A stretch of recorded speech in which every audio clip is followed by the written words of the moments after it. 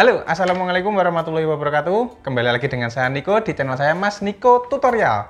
Nah teman-teman, menyambung di episode sebelumnya, yaitu saya ngobrol-ngobrol mengenai uh, pada waktu itu saya terkena positif COVID atau Corona teman-teman dan juga vaksin satu.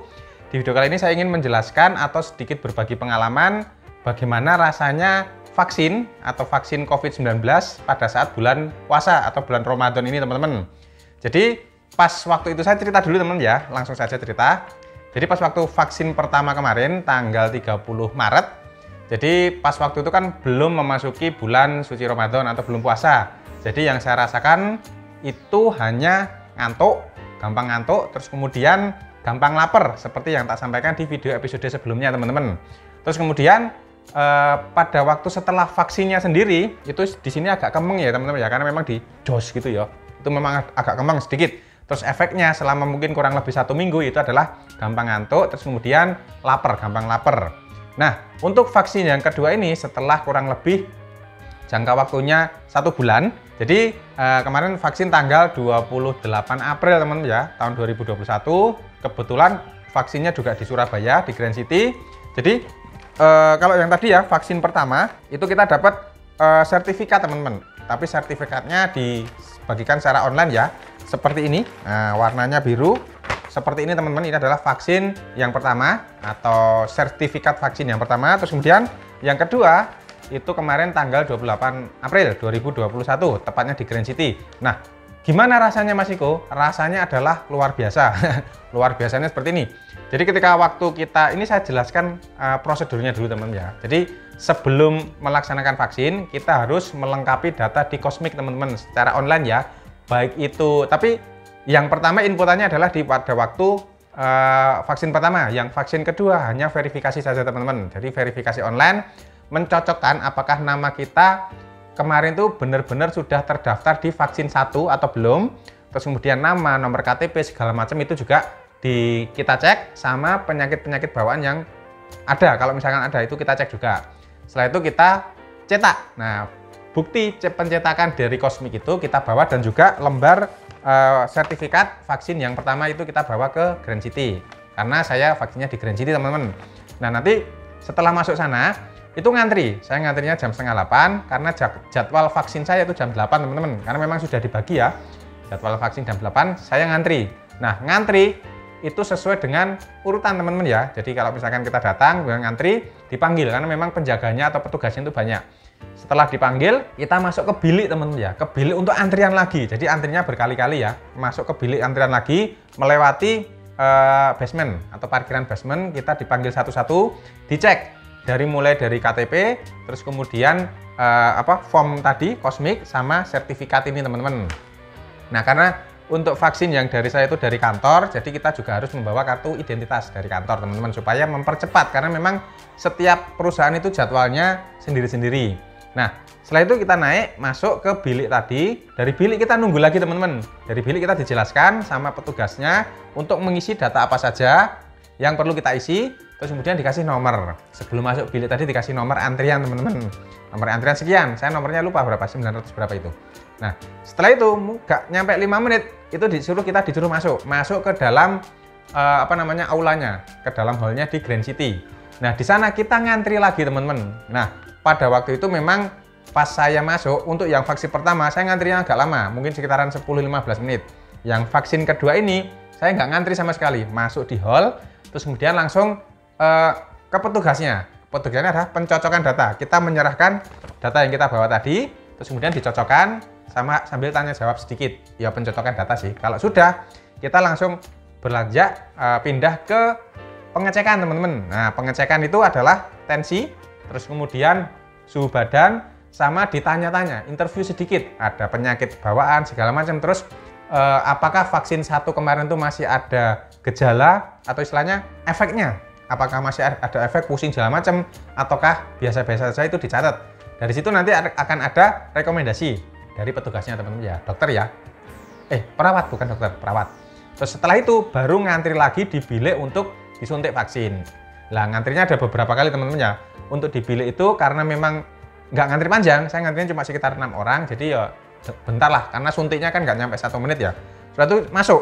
Lah masuk itu sudah ada petugasnya, dokumennya nanti dikasihkan petugasnya supaya dicocokkan, terus langsung jus suntik. Nah suntik yang kedua ini lebih sakit dibandingkan suntik yang pertama. Entah itu apa karena sugesti, entah itu apa karena obatnya beda, ya sama sih karena pakai Sinovac sih teman-teman ya, sama. Entah itu orangnya beda ya kurang tahu, yang jelas tambah sakit. Wong ndak dikasih aba-aba 1 2 3 tiba-tiba langsung dus gitu. Jadi sampai mentok sampai tulang teman-teman. Jadi sangat bener-bener kemeng banget. Kemeng itu apa ya? Nggak enak lah, sakit terus. Habis itu keluar. Nah, kalau misalkan teman-teman dari hasil uh, wawancara tadi atau interview singkat tadi itu ada gejala, nanti ada tandanya teman-teman. Jadi setelah disuntik nanti ada ruang observasi. Di situ ada ruang observasi kurang lebih sekitar 30 menit. Itu nanti kita akan uh, disuruh duduk aja, duduk atau misalkan kalau nggak puasa itu minum, itu duduk sambil menunggu uh, efek. Nah, kalau misalkan selama 30 menit itu tidak ada efeknya, itu boleh pulang atau dipersilakan pulang. Nah, karena saya tidak ada tanda-tanda atau tidak ada gejala dari vaksin yang pertama kemarin atau suntian itu, jadi saya nggak masuk ke bilik yang untuk observasi. Jadi setelah suntik saya langsung pulang teman-teman. Pulang maksudnya kembali ke kantor karena memang masih pagi ya. Jadi saya masuk Grand City itu masuk parkiran setengah 8, terus kemudian keluar dari Grand City itu jam 9.15. Jadi sudah selesai teman-teman. Jadi langsung parkir, langsung kembali lagi ke kantor. Nah, untuk rasanya teman-teman ya, setelah disuntik satu itu kemeng banget ya di sini, kemeng banget. Kemeng itu kayak apa ya? Kemeng ya nut nut nut senut senut teman-teman. Itu sampai sekitar 2-3 hari. Kemarin saya vaksin tuh hari Rebu, hari Rebu.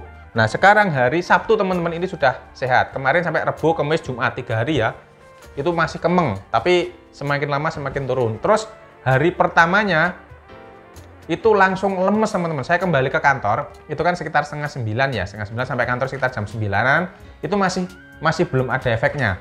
Setelah jam satu siang, wah aku tuh ke kantor gini. Aduh, aduh, wah, mulai gini, wah, jalan-jalan segala macam, ngantuk sama lemes teman-teman. Entah itu karena puasanya, entah itu karena apa atau karena efek dari vaksinnya. Saya juga kurang tahu. Yang jelas itu, wah, ngantuk.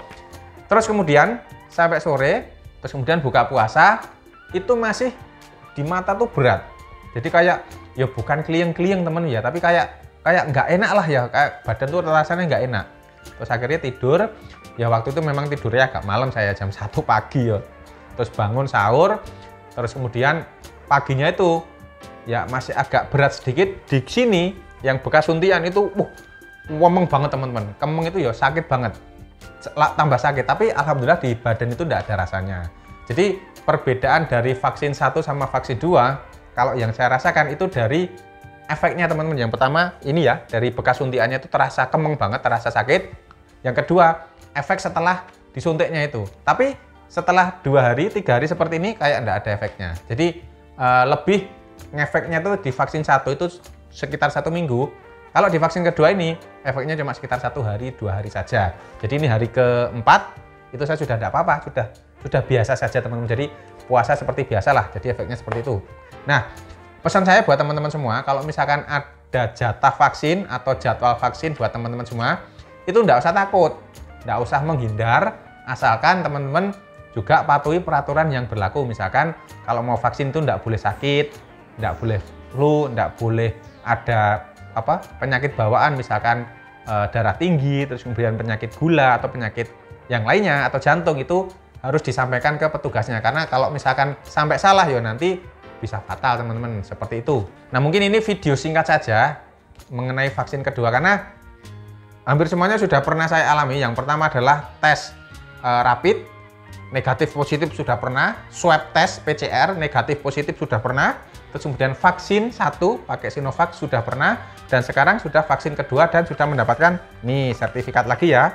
Ini yang vaksin pertama, Kemudian ini yang vaksin kedua warnanya beda, agak oh, apa namanya ungu-ungu ke oranye teman-teman, orange. Tapi memang ini semuanya soft copy teman ya bisa di download. Tapi ini saya cetak buat jaga-jaga kalau misalkan pulang karena rumah saya di Malang, kantornya di Surabaya, takutnya nanti ada apa-apa, ada pemeriksaan segala macam sudah tak siapkan. Dan untuk menghadapi uh, liburan Lebaran tahun 2021 ini yang tidak boleh mudik teman-teman karena KTP saya Klaten tempat tinggal saya Malang, kantor saya di Surabaya, lah bingung yo, plat motor saya Mojokerto, plat mobil saya Klaten.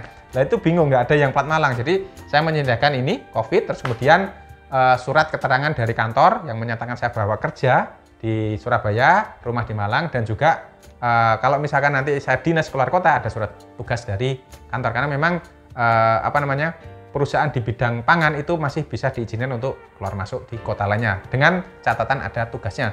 Jadi cukup sekian teman-teman ya video share pengalaman mengenai vaksin pada saat bulan Ramadan. Saya tekankan lagi buat teman-teman yang ingin vaksin di bulan Ramadan ini monggo silakan tidak apa-apa karena memang e, karena vaksin itu tidak bisa ditunda. Kalau jadwalnya sekian tanggal ini ya harus tanggal ini. Entah, walaupun berbeda jamnya teman-teman ya itu harus harus sekian. Karena karena itu virus. Virus yang dilemahkan dimasukkan ke tubuh kita supaya bisa menjadi antibodi buat tubuh kita. Supaya kita tidak bisa ter apa istilahnya apa ya tambah parah lagi kalau misalkan tertular atau terkena virus COVID-19 terima kasih teman-teman telah menyaksikan video saya kali ini. Monggo silahkan tunggu video episode selanjutnya di Mas Niko tutorial ini buat teman-teman yang suka traveling jalan-jalan kuliner silahkan subscribe channel saya yang satunya Niko Channel atau yang teman-teman suka dengan video drone, mainan, RC, remote control, dan segala macam, atau teknologi lainnya, silakan teman-teman subscribe di channel saya Drone Jowo. Jadi saya punya tiga channel, beda-beda teman-teman ya, silakan subscribe semuanya, monggo kalau tertarik. Assalamualaikum warahmatullahi wabarakatuh.